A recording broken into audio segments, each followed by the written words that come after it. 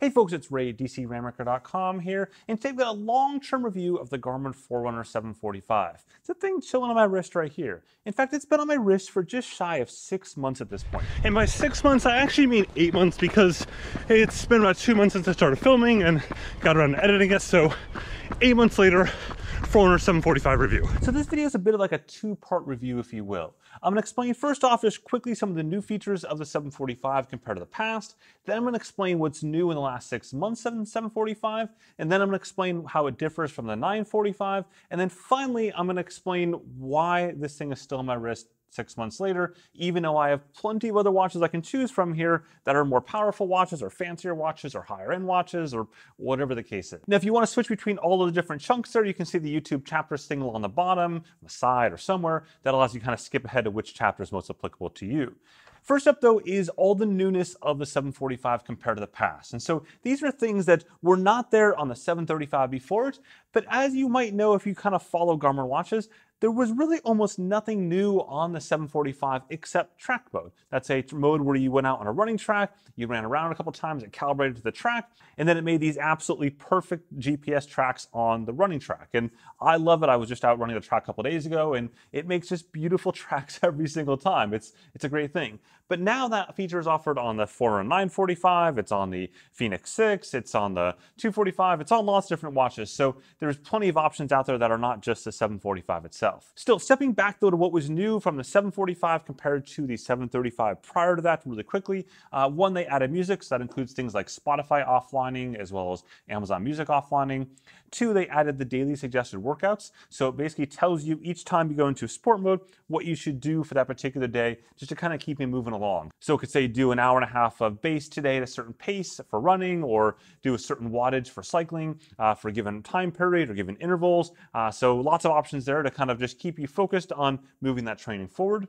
They then added Pace Pro and Climb Pro Pace Pro is basically where you set a target goal for a given race, and then it loads that course into it, and it figures out kind of how to race that particular race. If you wanted like negative split, for example, go faster on uphills or downhills, it's a pretty cool thing if you're racing. Right now, yeah, not so much on the racing scene. So it's not really as useful. Whereas Climb Pro is still useful despite a lack of races. Uh, so in the case of Climb Pro, what it basically does is takes a longer climb. So say, for example, you go hike to the top of a mountain or run to the top of a mountain, whatever you want to do. In most cases, that's not just one continuous climb. In most cases, you're going to have like a set of different climbs. So you may have, you know, the first climb a couple kilometers, and then you go down a little bit, and you go back up again. And it basically segments each one of those climbs and tells you the distance to the top uh, remaining, your incline. Like it's super useful. It's one of my favorite features uh, on a Garmin watch. And so they have that here on the 745 versus the past, it's only been on their higher end watches. They also added contactless payments. So you'd be able to tap it and pay for a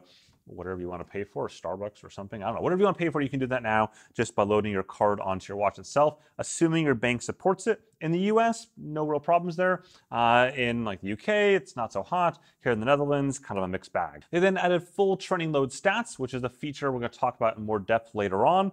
Uh, and they also add a bunch of 24 by 7 metrics uh, that kind of extend beyond like typical sleep and stuff like that. So uh, you've got stress tracking now. There's heat and altitude acclimation, which kind of fall more under training load metrics, but it's just a different bucket there. Point being that if you're going somewhere hot, it'll tell you how acclimated to that you are. If you're going somewhere that's high altitude, it'll They'll do the same for altitude as well. And then the two biggies, they also added a barometric altimeter as well as support for running power because it now has a barometric altimeter, assuming that you've got the right Garmin accessories, which is primarily a Garmin HRM Tri-Strap, HRM Run Strap, HRM Pro Strap, or the RD Pod. Or you get just skip all that and buy like a Stryd or something like that sensor, and it works with that too. Now, in my full in-depth review from way back in whenever, um, I dive into a lot of that stuff, so check out that video up in the corner there, or you can see my written review where I dive even more detailed to the other dozen plus features that are new that are just kind of too nuanced to mention right here. So since its release, what has changed in the 745?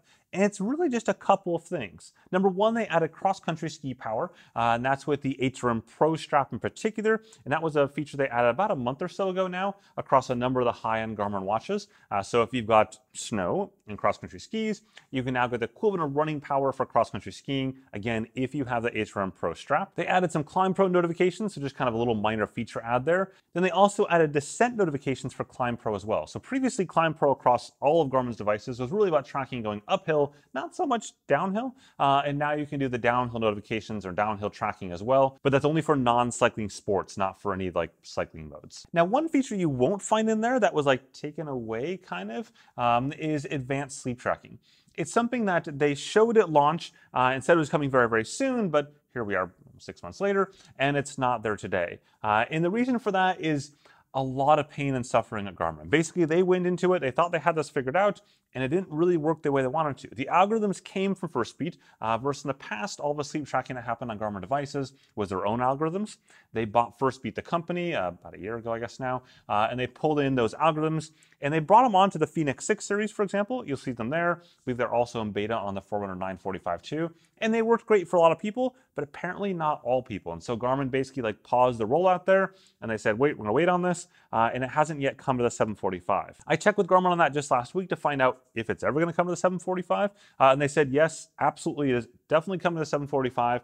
Uh, they didn't have exact timing though, but they said they believe they're kind of beyond the hill of the problems that they were facing. Uh, so hopefully that'll be here relatively shortly. Meanwhile, you should go ahead and whack that like button at the bottom there because it really does help us video and the channel quite a bit. Now, let's talk about what's different between the 945 and the 745. Uh, and there's a couple big ticket items. One, and the biggest ticket item, is there's no offline mapping on the 745. So there's no pretty maps. You can do breadcrumb trails and routing and all that kind of stuff as long as you got the course predefined, but you can't actually see like topo maps and stuff like that on the 745. So that's a big thing for a lot of people, and I'll explain why that does or doesn't impact me in just a moment. Next, the 945 has longer battery life than the 745. It's as simple as that. Uh, the 745 tops out around 20 hours uh, of usable battery life for GPS mode uh, versus the 945 is on the screen right there, the different specs depending which mode you're in.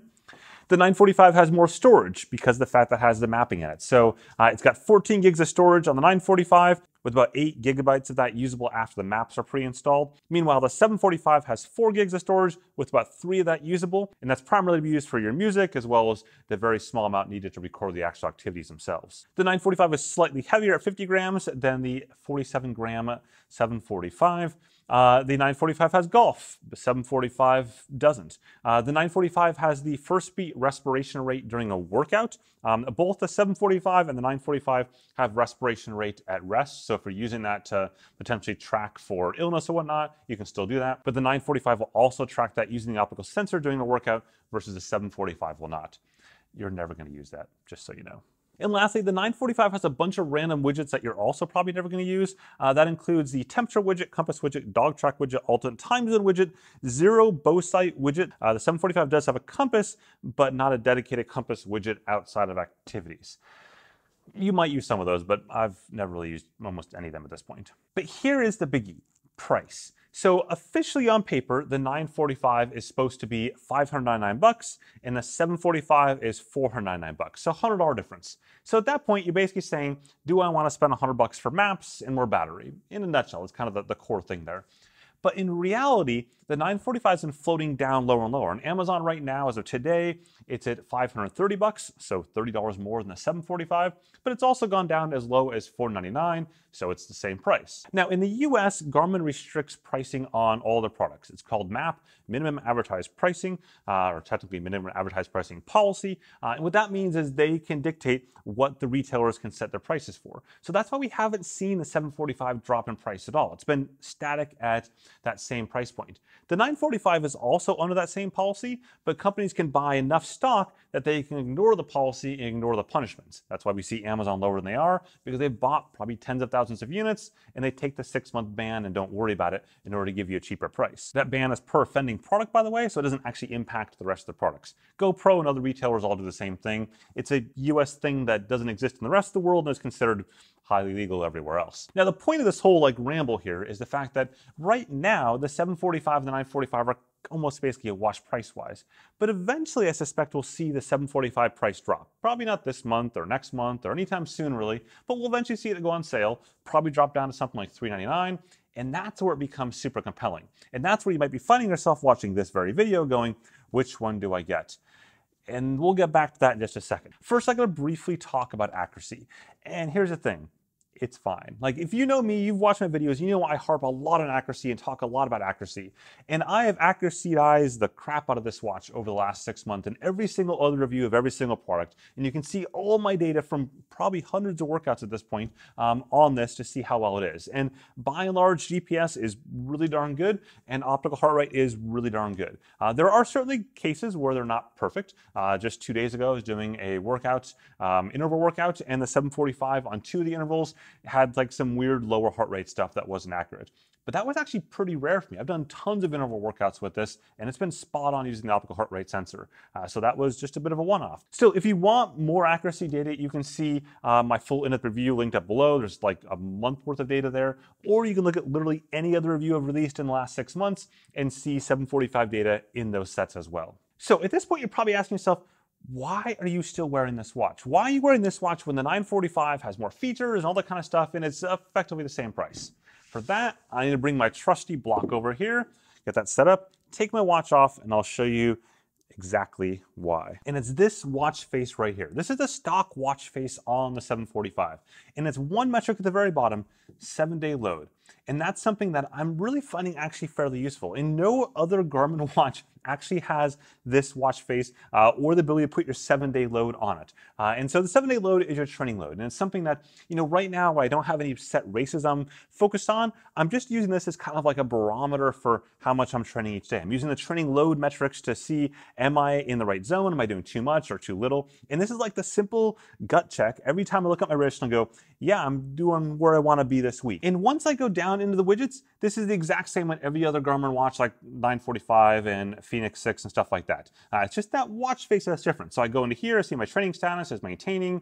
I go down, I can see my fitness and load, relatively static, uh, and I can see what I've been doing this last week. Uh, you can see today my run, yesterday I didn't do much of anything, Tuesday, Monday, my runs and rides. Uh, Sunday, or sorry, Sunday not much, Saturday workout, nothing on Friday.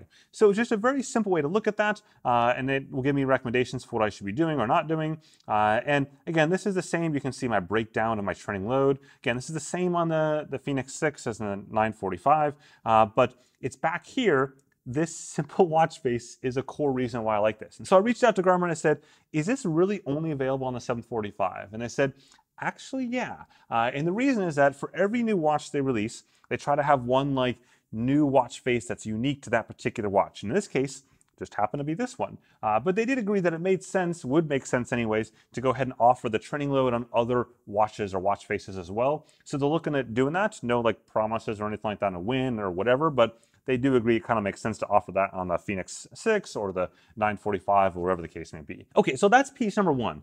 Piece number two, well, like anyone else, I've got preferences on what I like to wear, like fashion wise. And while I'm not really sure this qualifies as fashion, I just like the color. Uh, it, it's like this reddish color with a little hint of orange in it. I think it's technically called like magma or lava or some fancy term like that, uh, but it just works. I mean, you can see a mother wrist here. I've got an Apple Watch SE, also in a reddish color. It's just what I happen to prefer. I don't have to worry about walking into a boardroom or anything like that right now, so I don't need like a fancy watch. I just this works just fine for me. And then the last reason I kind of prefer is it's just a slight bit smaller than the 945. If you follow me a long time, you know I prefer smaller watches in general. Sure, I'll wear the big watches for a long time period, for reviews and stuff like that, but when push comes to shove, when all said and done, I just prefer a slightly smaller, lighter watch. Uh, and this is slightly smaller and lighter than the 945, in particular the bezels. The 945 bezels are a lot bigger around the edge compared to the 745, uh, and that's something that I just like the look of this a little bit better.